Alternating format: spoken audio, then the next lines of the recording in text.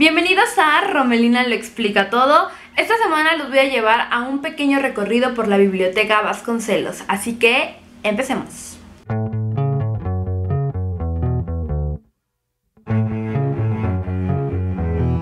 La Biblioteca Vasconcelos es uno de los recintos bibliográficos más importantes en la Ciudad de México. Está ubicada al norte de la ciudad y cuenta con más de medio millón de libros, películas, revistas, periódicos para consulta ya sea dentro de la misma biblioteca o para préstamo a domicilio. Este recinto también es muy visitado por su impresionante diseño arquitectónico así como por las muy variadas actividades y servicios que ofrece. La biblioteca fue diseñada por el arquitecto Alberto Calach y en los pasillos centrales podemos ver exhibido suspendido en lo alto un esqueleto de un cetáceo que se encontró en Baja California Sur y que fue intervenido por el artista Gabriel Orozco. El objetivo principal de este video es acercarlos y que conozcan un poco de la biblioteca, pero principalmente que conozcan también los requisitos y el proceso para poder sacar un libro y llevártelo y leerlo en la comodidad de tu casa. Para poder hacer nuestro recorrido, la dirección de la biblioteca nos proporcionó una excelente guía que se llamaba Juana Sánchez, quien trabaja como bibliotecaria y que también ayuda a orientar a los usuarios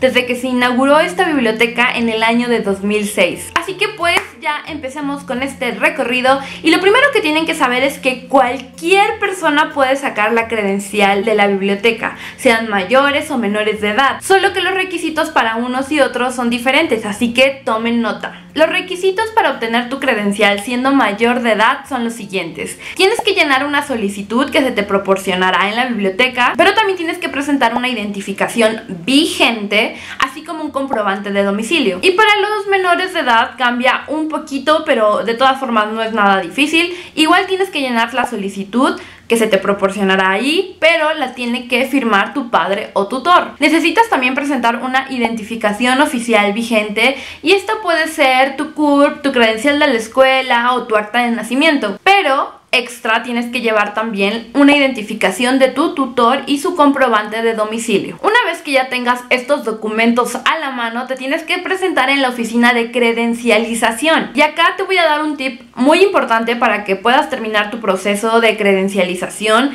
ese mismo día, ya que se te pedirá un teléfono local, o sea, de la casa. Entonces es importante de que te asegures que va a haber alguien en tu casa para que conteste la llamada y pueda corroborar estos datos. De caso contrario, tu proceso no se va a dar por concluido y no te van a dar tu credencial. Recuerda que todo este trámite es gratuito, no se te va a cobrar absolutamente nada, a menos de que hayas perdido tu credencial y ahí sí vas a tener que pagar por la reposición que cuesta como 59 pesos según tengo entendido. Y la vigencia de tu credencial es por dos años. Este credencial es para poder sacar libros y llevártelos a casa, pero si quieres también puedes sacar una credencial de uso interno que simplemente es para poder hacer uso de los servicios que se ofrecen dentro de la biblioteca. Pero tramitar esto también es súper fácil, solamente tienes que llenar también la solicitud y presentar tu identificación. Y más adelante les voy a hablar de cuáles son esos servicios extras que ofrece la biblioteca, porque no todos son libros. Una vez que hayas terminado con tu proceso de credencialización, se te va a otorgar la credencial de la biblioteca, pero también te van a dar un número NIP o contraseña que la vas a necesitar siempre que quieras sacar un libro. Una vez que ya tengas estos dos, vas a poder llevar los libros a tu casa y como yo tenía ya varias semanas buscando la edad de la inocencia sin éxito en ninguna librería, tenía la teoría de que en la biblioteca seguramente lo iba a encontrar, entonces esa fue la búsqueda que realicé junto con mi guía. Para hacer estas búsquedas tienes que acercarte a las computadoras que están cerca de los elevadores porque ahí está la información de todo el material disponible a consulta. Vamos a hacer la búsqueda de un libro. Para esto en el catálogo podemos hacer nuestra búsqueda de diferentes formas. Nos da la opción aquí en el caso de campo de búsqueda realizarlo ya sea a través de estos medios por todos los campos, palabras en título, título exacto, autor o materia. En este caso vamos a buscar hacer la búsqueda del libro. La edad de la inocencia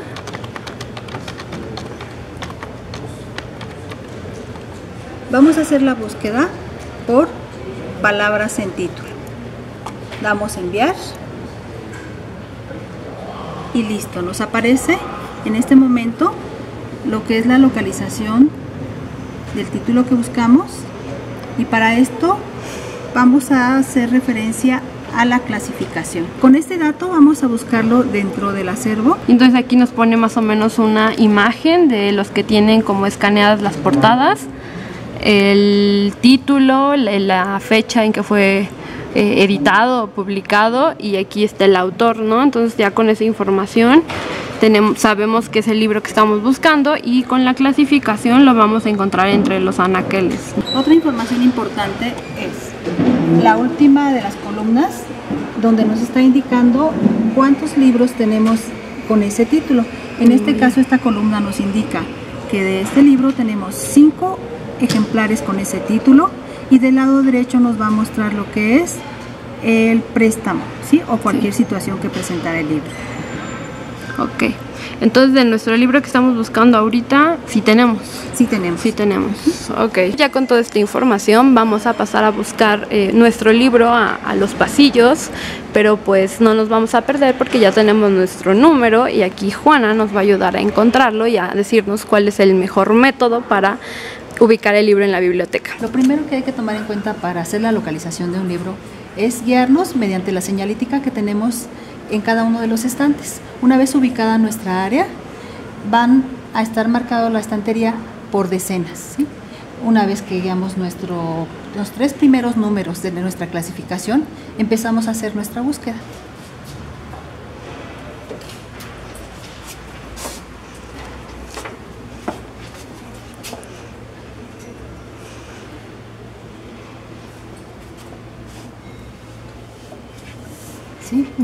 Bueno, lo primero que tenemos que hacer es localizar nuestros tres primeros números de nuestra clasificación y después seguir con las letras que tenemos en la misma clasificación. Para localizarlas, el acomodo de nuestra colección va de izquierda a derecha en forma consecutiva de menor a mayor y el orden alfabético igual de izquierda a derecha, de arriba hacia abajo. Una vez que localizamos nuestro primer número, seguimos con las letras subsecuentes. En este caso, W51E322, la edad de la inocencia. Y pues ya, aquí lo tenemos. Edith Wharton. No fue tan difícil. Y tenemos dos, como nos marcaba el, el, catálogo. Aquí están los dos. Y aquí tenemos otros eh, libros también de la misma autora. Supongo que aquí están todos los libros de la misma autora, ¿no?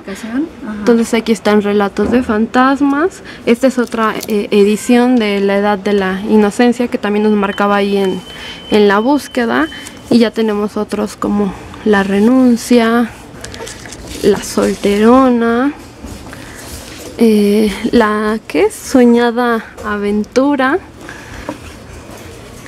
¿Qué otro tenemos? Sueño crepuscular.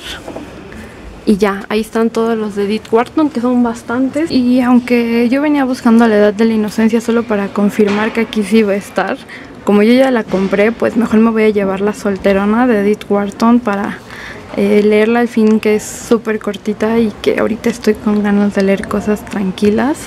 Vamos a llevarnos este. Ahora vamos a irnos a una de estas máquinas que se llaman de autopréstamo. Para hacer el trámite de, de autopréstamo es necesario que memoricemos nuestro NIP. Siempre nos va a ser indispensable para hacer el trámite, así como la credencial. Lo que hacemos primero es colocar nuestra credencial con el código de barras hacia adentro. Una vez que lo toma el infrarrojo, nos va a aparecer lo que es el teclado. Ahí vamos a introducir lo que es nuestro NIP o nuestro número de cuenta para poder registrar los libros que nos vamos a llevar. Una vez que tengamos nuestro libro, vamos a ubicar lo que es la parte correspondiente a la identificación del libro, que es la etiqueta Vasconcelos. Con esta etiqueta vamos a deslizarlo sobre la rampa, colocándolo de esta forma, y lo hacemos deslizándolo hacia adelante. Va a aparecer nuestro letrero que dice retira el libro y posteriormente va a aparecer imprimir libro. Vamos a darle aquí y listo, está imprimiendo nuestro recibo. Este ticket nos sirve para identificar el libro que nos estamos llevando. Aparece lo que es el título y su identificación del libro. Su identificación del libro va a aparecer en esta etiqueta. Es importante que cuando saquemos a préstamo revisemos estos dos datos para verificar que exactamente es el libro que nos estamos llevando. ¿sí? Aquí aparece identificación y después nos aparece la fecha de devolución.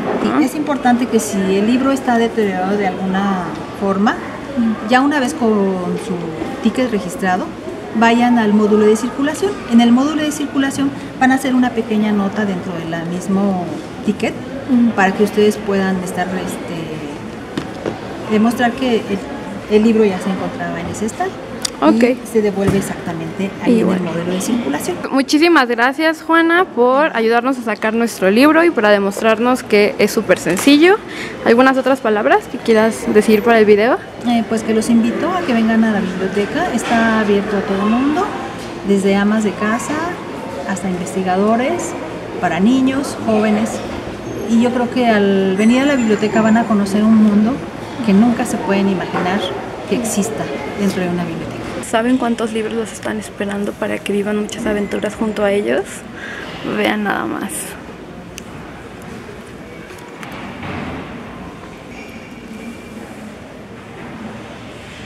que tanto el trámite como el préstamo de libros es gratuito. Y aunque tú no tengas credencial puedes ir y usar las instalaciones para estudiar o simplemente si quieres tener un lugar tranquilo donde leer igual puedes llegar y sentarte y nadie te va a decir nada. Así que si tan solo quieres ir a conocer puedes acercarte a este lugar sin problema. Pero si de verdad quieres aprovechar los servicios de la biblioteca te recomiendo sacar tu credencial de préstamo pero también tu credencial de uso interno de la que ya te había hablado al principio de este este porque con esta credencial vas a tener la oportunidad de usar otros servicios de la biblioteca como la sala multimedia donde puedes hacer tu tarea o donde podrás también ver una película del catálogo de la biblioteca. También hay un área para niños y bebés donde podrás encontrar libros y mesitas y mobiliario adecuado para los más pequeños. Este lugar está creado para que los niños tengan su primer contacto con un libro y se complementa con actividades que fomentan la lectura. También hay un auditorio donde hay proyecciones especiales y conciertos y unos grandes jardines donde encontrarás un espacio para relajarte.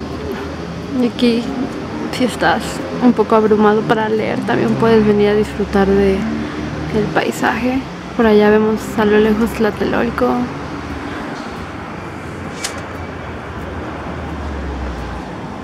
De este lado está la Torre Latino, el centro. Estos lugares son mágicos.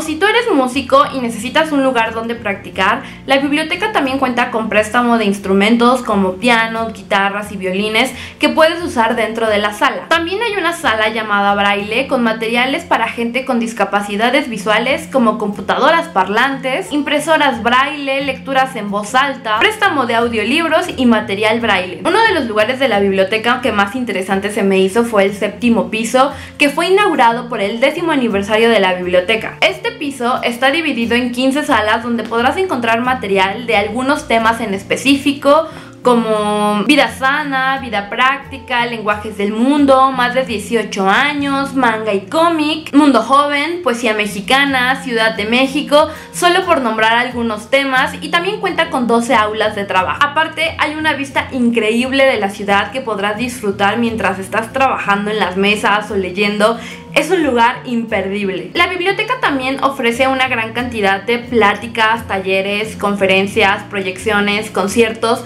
y todos son gratuitos. Lo único que tienes que hacer es seguir constantemente su calendario de actividades en su sitio web que dejaré en la caja de descripción junto con toda la información de la biblioteca para que puedas llegar y enterarte sin problema alguno. En lo personal a mí este lugar me encanta y creo que no le saco el provecho que debería porque aunque sí tengo mi credencial de vez en cuando es que voy y saco un libro, pero más que los libros creo que también el lugar es increíble y que es uno de esos lugares en la ciudad donde uno encuentra como el ambiente perfecto para la inspiración, para leer, para concentrarse es como una armonía que en esta ciudad tan loca a veces necesitamos un refugio, un oasis, donde nos sintamos seguros para poder aprender, crear y soñar. Y se los digo así porque yo la verdad no tuve la oportunidad de utilizar estas instalaciones cuando era más joven, porque estuve viviendo un tiempo en el Estado de México, entonces para mí venir a Buenavista era pues un viaje largo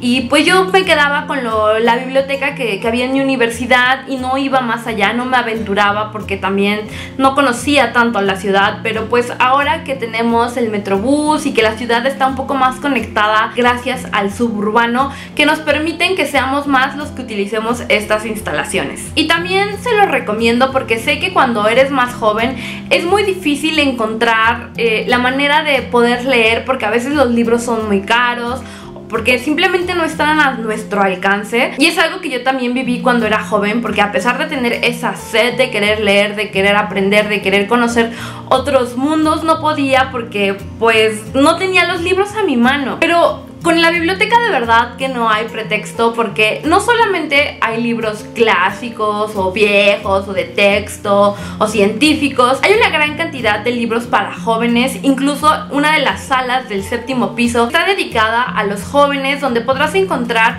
gran cantidad de material contemporáneo y esos libros en los que tú estás interesado.